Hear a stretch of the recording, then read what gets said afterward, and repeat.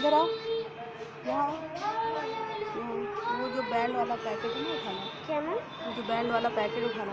Packet हाँ जो band वाला पैकेट रखा दीवार पे। हाँ वो ये हाथ वाला। हाँ।